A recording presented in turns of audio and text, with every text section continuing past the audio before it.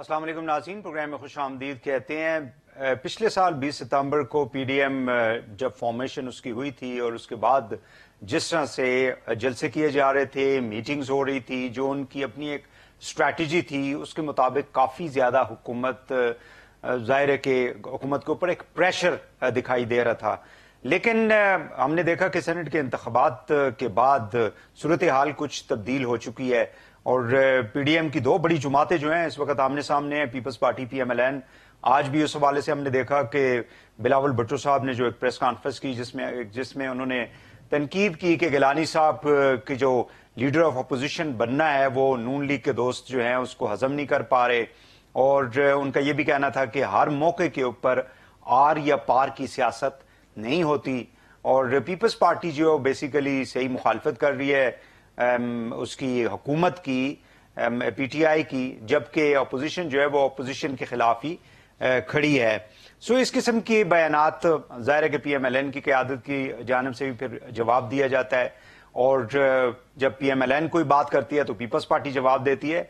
तो क्या इस वक्त जो पीडीएम की मौजूदा जो पोजीशन है, वो किस हद तक हुकूमत के ऐवानों को हिला सकती है? और जिस किस्म की उनकी स्ट्रैटेजी है कि इमरान खान साहब को घर भेजना है हमने, और 2021 जो था, कहते थे कि ये इलेक्शन का साल है तो ये तमाम जो अहदाफ हैं, या जो स्ट्रैटेजी है, उसको कैसे कामयाब कर पाएँगे? इस हवाले से आज हम गुफ्तु करेंगे। हमारे साथ मौजूद है एहसन इकबाल साहब सेक्रेटरी जनरल है पाकिस्तान मुस्लिम लीग नवाज़ के। बहुत शुक्रिया एहसन साहब। ये मुझे बताइएगा कि कहाँ पे चीज़ें खराब हो गई हैं कि आजकल बजाय इसके कि आप लोग प्राइम मिनिस्टर को आ, मतलब मुखातब करें हुकूमत को मुखातब करें आप लोग तो आपस में ही लगे हुए हैं। देखिए भाई साहब मैं समझता हूँ कि ये बड़ा एक अफसोसनाक मरला है कि जब पीडीएम जैसे आपने कहा कि लास्ट ईयर सितंबर में बनाई गई तो तमाम डेमोक्रेटिक पार्टीज़ ने मिलकर ये कौम के सामने अहद दोहराया कि हम मुल्क में आइन की हुक्मरानी के लिए जिदोजहद रखेंगे और इसमें किसी किस्म की कमज़ोरी नहीं दिखाएँगे। हमारी छह महीने की जिदोजहद जब एक मंतकी अंजाम तक पहुँची और हुकूमत के खिलाफ जो हमने अवामी मोबिलाइजेशन की, उसके बाद जो फैसला कौन मरला था, जैसे आप अपने मुखालिफ टीम की डी में पहुँच जाते हैं और गोल करने का वक्त आता है तो हमारे एक इतिहादी ने उस वक्त टाइम आउट ले लिया। और उस टाइम आउट लेने से वो हमारी सारी जिदोजहद जो है वो वक्ती तौर पे उसमें सेटबैक आया। फिर ना सिर्फ़ ये कि उन्होंने इस्तीफा देने से नौ जमातें जो दीगर थी उनसे इतफाक नहीं किया, बल्कि जब सेनेट में हम सबने मिलकर यूसुफ रजा गिलानी साहब को कामयाब किया और पीडीएम ने ये फैसला किया कि leader of opposition Muslim League Noon से होगा चेयरमैन सेनेट पीपल्स पार्टी से होगा और डिप्टी चेयरमैन जेयूआई से होगा। तो उसी जमात ने फिर उस अंडरस्टैंडिंग को भी खत्म करते हुए एक तरफा तौर पे बाप पार्टी के साथ जो सरकारी बेंचेस पे थी, जो सबको मालूम है कि बाप पार्टी किसने बनाई है, किससे वो इशारा लेके फैसले करते हैं। जब उनके साथ पीपल्स पार्टी ने एक नई साफ़ बंदी की तो वो एक हम सब के लिए और धचका था। तो अब अगर बिलावल भुट्टो साहब हमें ये ताना दें कि जनाब, आपने जो है वो हमें आ, जो हमारी कामयाबी पे खुशी नहीं है आपको। तो ये एक बड़ा ही मजहका खेज बात है इसलिए कि अच्छा। पीपल्स पार्टी के पास तो सिर्फ़ इकसठ वोट थे कौमी असम्बली में। हमारे पास चौरासी के करीब वोट थे। अगर मुस्लिम लीग नून के एम एन एज उनको वोट ना देते तो क्यामत तक यूसुफ रजा गिलानी साहब तो सेनेटर नहीं बन सकते थे। इसी तरह जो चेयरमैन सेनेट का इंतखाब है उसमें अगर मुस्लिम लीग नून के तमाम अच्छा, सब मैं मैं चूँकि आपने जी बिल्कुल आपने जो क्रोनोलॉजिकली चीज़ों को हाईलाइट किया मैं ये चाहूँगा कि देखें वो जो कन्फ्रंट करते हैं पीपल्स पार्टी वाले वो ये कहते हैं कि कोई ऐसी हमारी अंडरस्टैंडिंग नहीं थी कि अपोजिशन लीडर जो है वो गिलानी साहब नहीं बन सकते। तो मैं सर सवाल मेरा ये है कि क्या कोई ऐसा मुसविदा जो सबूत के तौर पे आप लोग मीडिया को बता सकें? बिकॉज़ अभी तक ज़ाहिर है कि वो भी क्लेम करते हैं अपनी स्टेटमेंट्स देते हैं आप अपनी स्टेटमेंट्स देते हैं। सो कोई राइटिंग में था कि chairman Peoples Party deputy chairman JUIF opposition leader आपका होगा? जी वही साहब इसके ऊपर तो सब पार्टीज़ ने मिलकर इतफाक किया था और उसी मीटिंग के बाद प्रेस ब्रीफिंग में भी इसका ऐलान किया गया। मौलाना फजल रहमान साहब ने भी इसकी तायद की एएनपी के मियाँ इफ्तार साहब ने भी इसकी तायद की और सारे लोग जो उस मीटिंग में मौजूद थे वो सब इसके गवाह हैं और इससे बढ़कर क्या मुआदा होगा कि जब सब लोग जो वहाँ पर मौजूद थे और खुद पीपल्स पार्टी भी इसका इनकार नहीं करती, वो भी इनकार नहीं करते इसका कि ऐसी अंडरस्टैंडिंग नहीं हुई थी। अच्छा मुझे आज आज आप, आपने देखा होगा कि एक आर्टिकल लिखा था यूसुफ गिलानी साहब के साहबजादे ने जो न्यूज़ के अंदर प्रिंट हुआ है और उसके अंदर पूरी उन्होंने, इसके अंदर जो है ना सारी तफसीलात लिखी। उन्होंने कहा है कि एक तो सिलेक्टेड का जो लफ्ज है, वो हमारे मतलब वो अपने फादर का कहते हैं उनके लिए इस्तेमाल करना दुरुस्त बात नहीं है। तो ये आप लोग क्यों ये लफ्ज इस्तेमाल मतलब मरियम साहिबा ने सबसे पहले इसको इस्तेमाल किया था। मैं चाहूँगा कि ये आप सुन भी लें। ज़ाहिर है कि आपको तो मालूम भी होगा, लेकिन याद दहानी करिए व्यूअर्स के लिए कि मरियम साहिबा ने गिलानी साहब के लिए सिलेक्टेड का वर्ड इस्तेमाल किया था। मैंने ये देखा पाकिस्तान की तिहत्तर साल की हिस्ट्री में और दुनिया में शायद ये पहली मिसाल है कि लीडर ऑफ़ द ऑपोजिशन जो है वो हुकूमती अरकान जो है वो उसको इलेक्ट कर रहे हैं बल्कि सिलेक्ट कर रहे हैं। पहली दफ़ा मैंने ये देखा पाकिस्तान जी एहसन साहब ये मतलब इलेक्ट हुए हैं या सिलेक्ट हुए हैं ये? देखिए ना जब आप चार अरकान ट्रेजरी बेंचेस से उधार लेके कोई मनसब हासिल करेंगे तो वो हर उनवान से सिलेक्शन के जुमरे ही में आएँगे। और ये बात भी आपको मैं बता दूँ कि हमारे उम्मीदवार को भी चेयरमैन सेनेट ने ये ऑफ़र की थी कि मेरे पास तीन चार सेनेटर्स हैं, अगर आप मुझसे मामला करना चाहते हैं तो मैं आपको ये दे सकता हूँ। तो हमारे उम्मीदवार ने कहा कि हम किसी बैकडोर डिप्लोमेसी पे यकीन नहीं रखते। हमारी जमात की जो या पीडीएम की जो ताकत है, या जो अददी उनकी तादाद है, उसके मुताबिक ही हम इस वोट को हासिल करेंगे।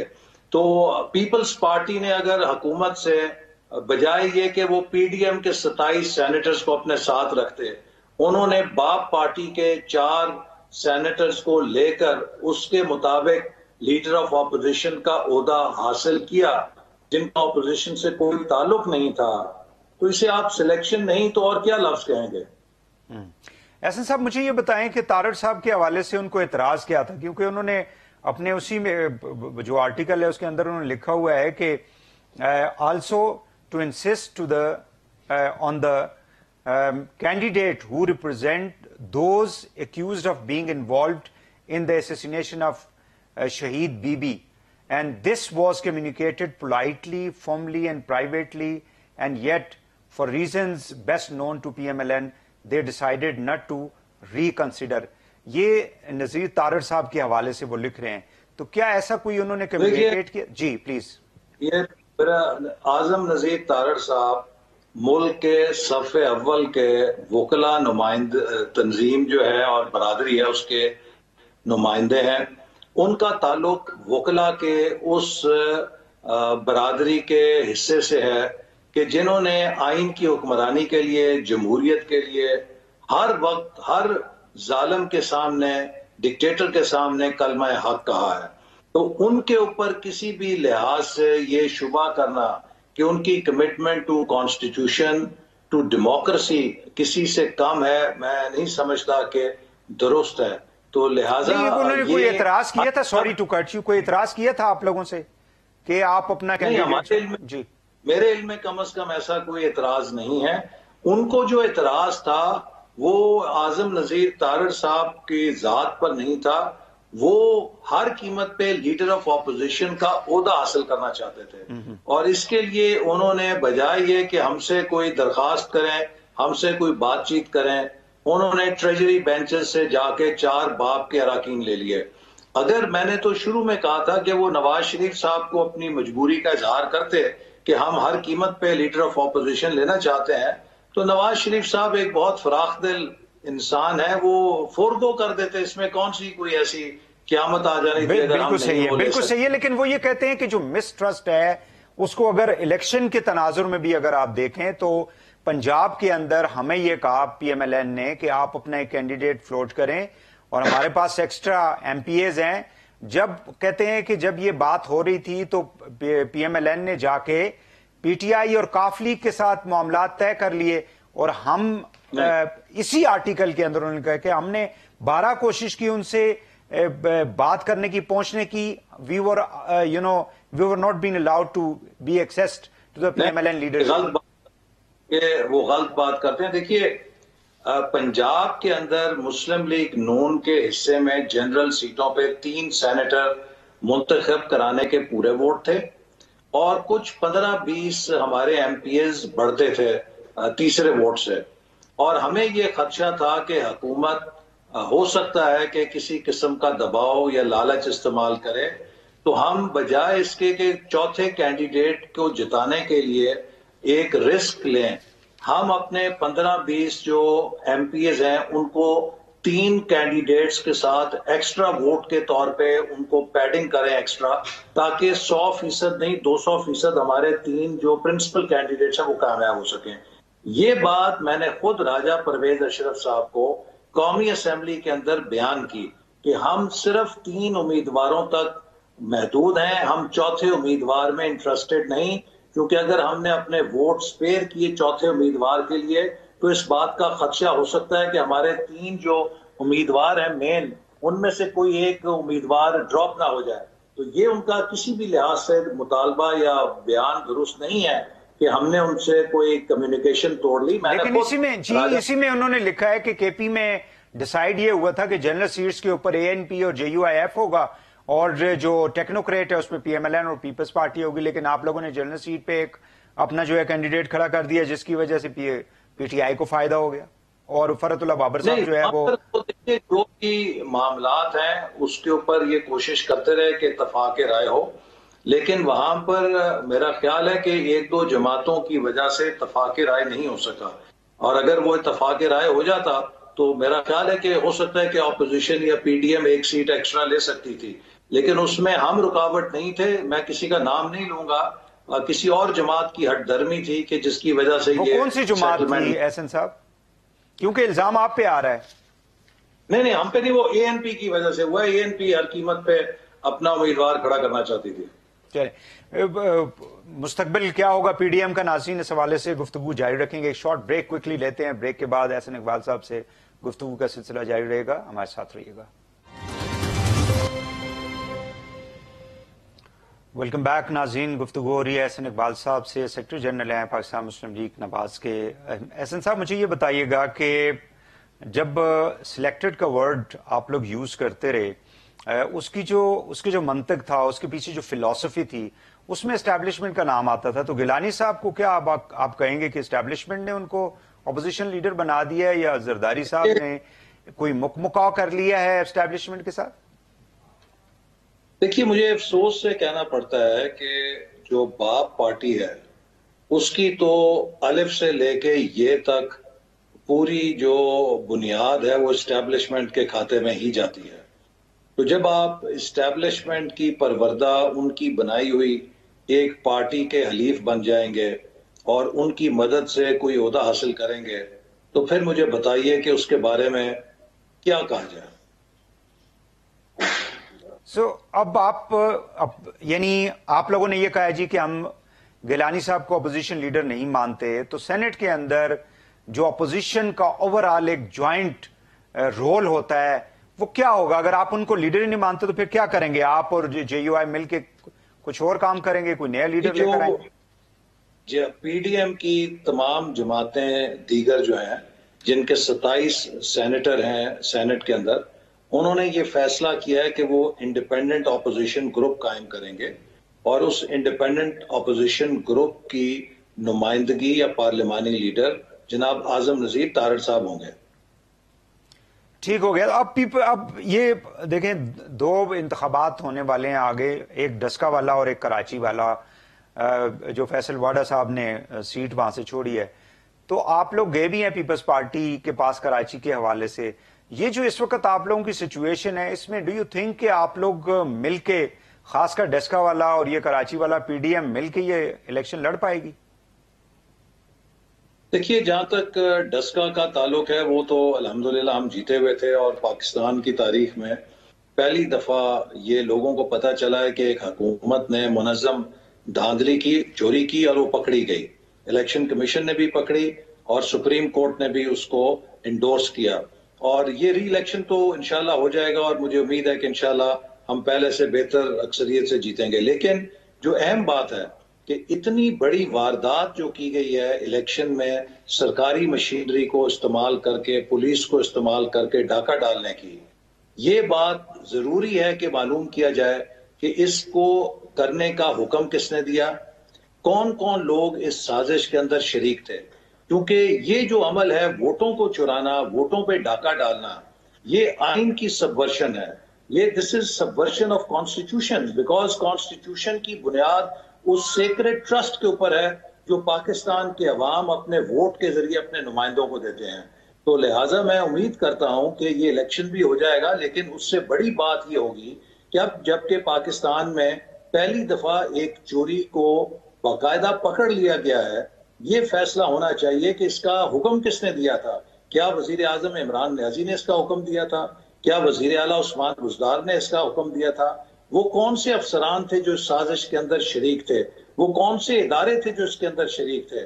उनके खिलाफ जब तक करार वाकई सजा नहीं दी जाएगी तो पाकिस्तान में आज़ाद मुनसफाना इलेक्शन के लिए खतरात मौजूद रहेंगे। ठीक है एहसन साहब, आप लोग रिज़ल्ट कबूल कर लेंगे ना, अगर आप लोगों के खिलाफ रिज़ल्ट आ गया तो। दोनों जगहों पे।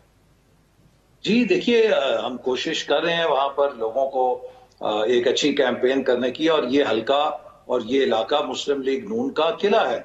और मैं उम्मीद करता हूँ कि जो पिछली दफ़ा धांधली की गई, ये हुकूमत उससे सबक सीखेगी और आइंदा कोई ऐसा कदम नहीं उठाएगी जिससे कि यहाँ पर मुदाखलत हो और जो सरकारी मुलाजम इसके अंदर मुलवस पाए गए। और अगर उन्होंने ऐसा दोबारा करने की कोशिश की तो हम उनके खिलाफ संगीन कानूनी कार्रवाई करेंगे।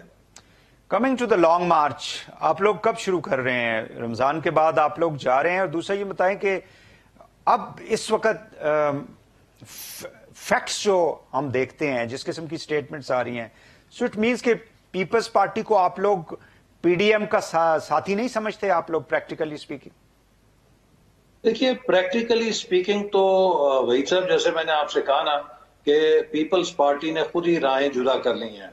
पहले उन्होंने जमात इस्लामी एएनपी और बाप पार्टी के साथ मिलकर एक नई सफबंदी की है लीडर ऑफ़ ऑपोजिशन बनने के लिए। दूसरे नंबर पे उन्होंने पीडीएम को कहा था कि हमें चार अप्रैल तक की मोहलत दें हम सीसी का इलेक्शन करके आपको अपना फैसला बताएँगे। अब उन्होंने उस इजलास को भी गैर मुना मुद्दत के लिए मुलतवी कर दिया है। तो इसका मतलब यह है कि सादा अल्फाज में उन्होंने पीडीएम को कहा है कि वी डोंट केयर तो आप जो मर्ज़ी करें हमें आपकी ज़रूरत नहीं है और आपकी परवाह नहीं है। तो इससे लगता तो यही है कि वो अपनी सियासत को किसी नए बयानिए पर या किसी नई बुनियाद पे खड़ा करना चाहते हैं। ठीक हो गया। एएनपी का क्या करेंगे?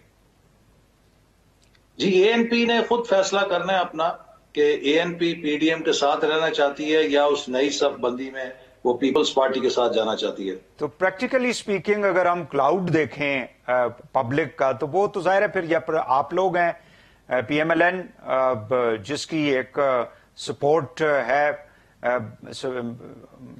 ग्राउंड के ऊपर या मौलाना साहब की है तो फिर आप लोग दो ही रह जाएँगे ना पीडीएम के अंदर जो प्रैक्टिकली कुछ कर रहे होंगे सड़कों के ऊपर। पार्टी जो है वो बहुत स्टैब्लिश्ड है। अब मैं समझता हूँ कि अगर हम किसी छोटे सूबे की जमात को गैर अहम कहें तो ये ज़्यादा है क्योंकि हर सूबे की जमात का वज़न बराबर का है।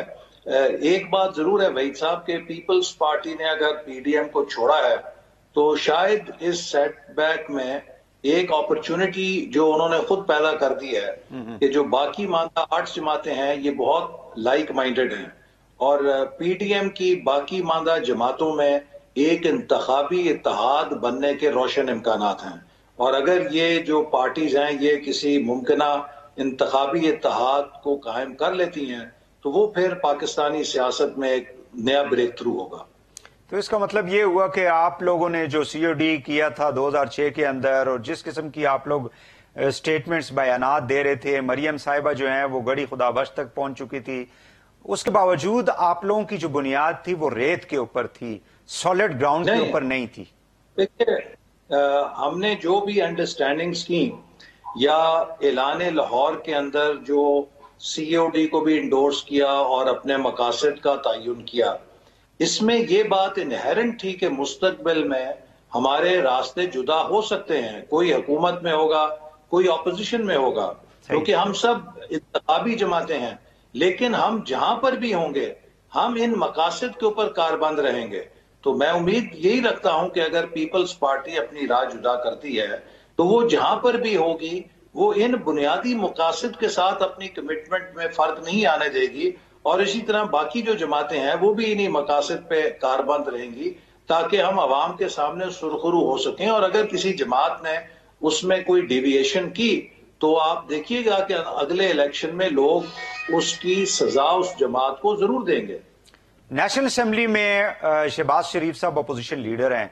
जिस तरह का आप लोग कोई ग्रुप बना रहे हैं सेनेट में यही काम अगर पीपल्स पार्टी ने वहाँ पे ग्रुपिंग शुरू कर दी तो आप लोगों की जो नेशनल असेंबली के अंदर जो स्ट्रेंथ है पार्लियामेंट्री स्ट्रेंथ जो है अपोजिशन की वो मजीद वीकन नहीं हो जाएगी।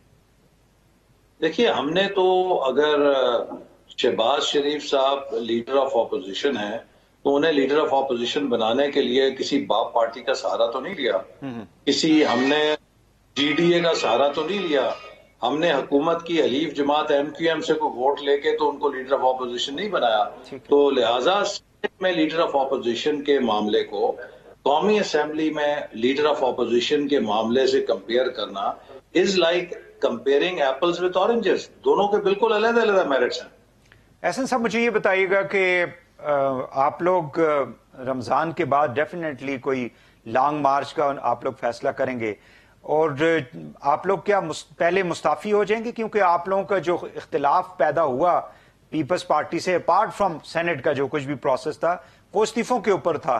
तो आप लोग मुस्ताफी होंगे? मतलब आप और जेयूआई और बाकी जो आपके पीडीएम के साथी हैं और साथ ही लॉन्ग मार्च करेंगे या मुस्ताफी नहीं होंगे इमीडिएटली देखिए भाई साहब जो हमारी मार्च की तजवीज थी इस्तीफों की वो तो कारगर हो सकती थी अगर सारी ऑपोजिशन मिलकर इस्तीफा देती। उससे एक बहुत इम्पैक्ट होना था और ये हुकूमत जो बहुत ही नाजुक बुनियाद पर है ये गिर जानी थी।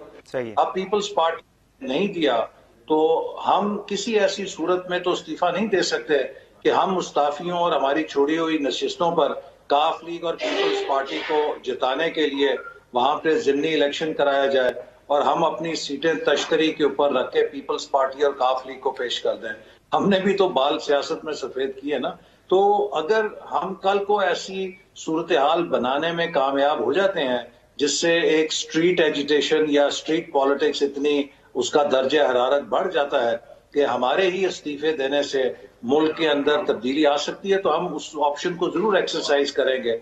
लेकिन इस्तीफे इस बुनियाद पे नहीं देंगे कि हमारे इस्तीफों का पीपल्स पार्टी या काफ लीग फ़ायदा उठाए। अगर सब ऑपोजिशन मिलकर इस्तीफे देती तो यकीनन वो एक बहुत मौसर और कारगर हथियार था, जिसके आगे ये हुकूमत नहीं खड़ी हो सकती थी। लेकिन अगर पीपल्स पार्टी असेंबली में बैठी रहे, वो कल को उन जिमनी इलेक्शन में मुतबादल बनने के लिए आ जाए तो फिर हमें कितने नफलों का स्वभाव है इस्तीफा देना? तब उस सूरत में हम तभी इस्तीफा दे सकते हैं कि जब स्ट्रीट पॉलिटिक्स का दर्ज हरारत ये हो कि लोगों के साथ मिलकर फिर हम लेकिन आपको मालूम है कि मौलाना साहब ने कहा था कि बगैर इस्तीफों के यहाँ पे आके आप बैठे रहें दस लाख लोगों के साथ भी तो उसका कोई फ़ायदा नहीं होगा। बिल्कुल ठीक है मैं एक शॉर्ट ब्रेक और क्विकली ले लूँ नाजरीन यहाँ पे और फिर उसके बाद हाजिर होते हैं और ऐसे साहब से गुफ्तु का सिलसिला जारी रहेगा ब्रेक के बाद। वेलकम बैक नाजीन एहसन इकबाल साहब से बात हो रही है। सेक्रेटरी जनरल हैं पाकिस्तान मुस्लिम लीग नून के। ऐसा मुझे ये बताइएगा कि मरीम साहिबा की फ़िलहाल तो ज़मानत है उन्होंने जो ली रखी है लेकिन नैब वाले जो हैं ज़ाहिर है उनको फिर भी बुलाएँगे। तो जब भी उनको बुलाया गया तो वो उसी तरह आ, मतलब अपने वर्कर्स के साथ जाएँगी सारे लोग आप लोग उन या फिर उन जाके सवालों के जवाब दे देंगे क्योंकि जो प्रेस रिलीज़ आई थी आपको याद होगा 25 मार्च को तो उसके अंदर भी उन्होंने कहा कि पहले भी जब आई तो उन्होंने पथराव किया नैब के ऑफ़िस के ऊपर। और हमारे पास मतलब थर्टी वन ए जो है कानून जो है उसके मुताबिक उनके खिलाफ हमने एफ़ आई आर भी की हुई है। सो इट मीन्स के कॉन्फ्लिक्ट जो है वो इसी तरह रहेगा। नैब जब भी बुलाएगी उनको मरियम साहिबा को। जी सर। ये बात आप भी जानते हैं और ये बात सबको मालूम है कि नैब एक सियासी ऑपरेशन का नाम है।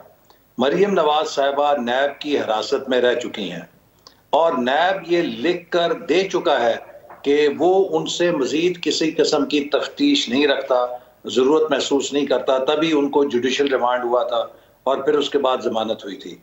तो अब अगर नैब दोबारा उनकी जमानत की मनसूखी और कोई उसी बारे में दोबारा केस बनाता है तो साफ़ ज़ाहिर है कि इसकी पोस्ट के ऊपर उनकी जो पॉलिटिकल एक्टिविटीज़ हैं वही हैं। और नैब ये अगर कहे कि ये कौमी इदारों के खिलाफ बयानबाजी कर रही हैं इसलिए इनका ये जमानत मनसूख की जाए। मुझे आप बताएँ कि ये नैब के चार्टर में या दायरे कार में कहाँ है कि वो कौमी इदारों का लेकिन लेकिन ये आपने प्रेस रिलीज़ तो देखी थी ना एहसन साहब। उसमें उन्होंने कहा था कि जो नैब है जिसका किसी भी सियासी जुमात से किसी किस्म का ताल्लुक नहीं, बल्कि नैब की वाबस्तगी सिर्फ़ और सिर्फ़ रियासत पाकिस्तान और पाकिस्तान की आवाम से है। This what they have written देखिए, नैब की इस वक्त वाबस्तगी सिर्फ़ पीटीआई की हुकूमत से है। रियासत का अगर ये इदारा होता तो इस वक्त इमरान खान की आधी से ज़्यादा काबीना जेल जा चुकी होती। जिस किस्म की मेगा करप्शन के केसेस और स्कैंडल्स पिछले तीन सालों में हुए हैं। नैब ने अपनी आँखों पर जो पट्टियाँ बांधी हुई हैं, रियासती इदारे के शयान शान नहीं है कि वो इस तरह की करप्शन को आँखों के नीचे होता देख के उस पर आँखें बंद रखे। तो नैब इस वक्त एक पॉलिटिकल विक्टिमाइजेशन में मुलवस है। मैं खुद उसका निशाना बना हूँ। हमारी आधी से ज़्यादा तकरीबन पूरी लीडरशिप उसका निशाना बन चुकी है और हमने कामयाबी से मुकाबला किया है। बोगस केसेस हैं इनके अंदर एक कोई चार मेरे पे वॉल्यूम्स बनाए गए हैं नैब के रेफरेंस नारोवाल स्पोर्ट सिटी के। आपको मैं दावत देता हूँ कि वो चारों वॉल्यूम्स पढ़ें और साबित करें कि उसमें किसी किस्म की मेरे ऊपर जाति माली बदउनवानी का एक सतर भी कोई लिखी हो कोई एक लफ्ज भी लिखा हो वो सिर्फ़ अंग्रेज़ी तो नैब चाहती क्या है एहसन साहब? ये सारा कुछ वो तो बड़ी लंबी लिस्ट है ख्वाजा आसफ ख्वाजा सलमान ख्वाजा साद रफ़ीक फिर आप हैं फिर साद शायद खकान अब्बास साहब हैं फिर मरियम साहब हैं बस शहबाज शरीफ पूरी फैमिली उनकी चाहते क्या है वो फिर? अगर आप ये समझते हैं कि ये विक्टिमाइजेशन है तो व्हाट दे वांट सिर्फ़ एक है कि ऑपोजिशन की आवाज़ को दबाया जाए ऑपोजिशन को खामोश किया जाए और जिस बंदे को वो नैब के कानून के तहत पकड़ते हैं उसका जमानत का हक नहीं होता नब्बे दिन के लिए नैब उसे उठा लेता है तो वो आवाज़ खामोश हो जाती है उसको जेल में डाल दिया जाता है। तो ये सिर्फ़ और फिर अपोजिशन के लीडरों को मुकदमात में उलझा के अब हम हर हफ़्ते एहतसाब अदालतों में पेशियाँ भुगतते हैं वकीलों के साथ सिर खपाते हैं। तो हमें एक नॉन प्रोडक्टिव चीज़ के अंदर उलझा दिया गया है। इस नैब की पूरी कार्रवाई का मकसद सिर्फ़ ऑपोजिशन को उलझाना है दबाना है सब मेरे पास एक एक मिनट है तकरीबन मुझे ये बताएँ कि मरियम साहिबा बाहर इलाज के लिए जा सकती हैं? कोई ऐसा प्लान है? देखिए मरियम साहबा खुद कह चुकी हैं कि इस हुकूमत को रुखसत करने से पहले वो कहीं नहीं जा रही। तो लिहाजा ये मेरा ख्याल है बहस ही बेमानी है। ठीक हो गया। अब तो आपने देख बिल्कुल सही जिस तरह ये कर रही है जैसे स्टेट बैंक को ये गिरवी रख रही है जैसे इन्होंने इंडिया के साथ कभी तजारत कभी नहीं तजारत पूरी दुनिया में पाकिस्तान की गवर्नेंस का एक मज़ाक बन गया है। अब वक्त आ गया है कि हम सब सोचें कि किस तरह से मुल्क को बचाना है। और ख़ास तौर पे मेरा ख्याल है कि इनको लाने वालों को भी सोचना चाहिए कि वो मुल्क से किस चीज़ का बदला ले रहे हैं। आखिरी सवाल ये जो अक्सर जो है गवर्नमेंट के लोग जो हैं वो ये कहते रहते हैं जी कि पीएमएलएन के अंदर दो ग्रोह हैं। तो इसको थोड़ा सा कई दफ़ा आप लोगों ने क्लैरिफाई भी किया है। तो अगर मरियम साहब एक ज्यूम कर लेते हैं कि उनको ये जो है ना, नैब वाले अरेस्ट कर लेते हैं जी कि ताकि ये प्रेशर आपका लॉन्ग मार्च वगैरह का कम हो जाए। तो फिर लीड कौन करेगा? अगर शहबाज शरीफ साहब की भी ज़मानत अभी तक तो नहीं हुई। तो शबाज शबाज शरीफ सॉरी हमजा साहब करेंगे, कौन करेंगे लीड देखिए, मुस्लिम लीग नून की जो फिक्री और सियासी क्यादत है, वो नवाज़ शरीफ साहब के पास है, ये एक हकीकत है। और जो भी नवाज़ शरीफ साहब के साथी हैं, वो सब इस पर मुतफिक भी हैं और यकसू भी हैं। तो लिहाजा ये मैटर नहीं करता कौन अंदर है, कौन बाहर है। जो पाकिस्तान मुस्लिम लीग नून की सियासी और फिक्री क्यादत है, वो नवाज़ शरीफ साहब के ज़रिए ही होती है और वो उसी तरह चलती रहेगी। जरदारी साहब का अब जो मशवरा था वो आप लोगों ने इनकार कर दिया नवाज़ शरीफ साहब को वापस लाने का? देखिए जरदारी साहब जो बात कर रहे हैं मैं उसके कोई समझ नहीं सका कि उन्होंने इस्तीफों को नवाज़ शरीफ साहब से कैसे मशरूत किया है क्योंकि नवाज़ शरीफ साहब ना एम एन ए हैं ना सेनेटर हैं और ना ही वो पार्टी के कोई अहदेदार हैं उन पर पाबंदी लगी हुई है। तो उनकी वापसी के साथ इस्तीफों को मशरूत करना एक सिर्फ़ बात बनाने की बात है। मुस्लिम लीग नून के सदर से लेके एक कारकुन तक हम सब पाकिस्तान में हैं, अपनी जद्दोजहद कर रहे हैं। उन्होंने जो बयान दिया, जरदारी साहब ने, ये वही बयान दिया जो शहबाज गिल या फयाजुल हक चौहान नवाज़ शरीफ साहब की वापसी के हवाले से जिस तनाजुर में बात करते हैं, हमें इस पे दुख हुआ है जो जरदारी साहब ने तर्ज कलाम उस मीटिंग में अपनाया। बहुत शुक्रिया एहसन साहब, आपने हमसे बात की, टाइम दिया। बहुत शुक्रिया आपका नाजीन एहसन इकबाल साहब से बात हो रही थी। सेक्रेटरी जनरल पाकिस्तान मुस्लिम लीग नवाज़, आज के लिए इतना ही। इजाज़ दीजिए। अल्लाह हाफिज़।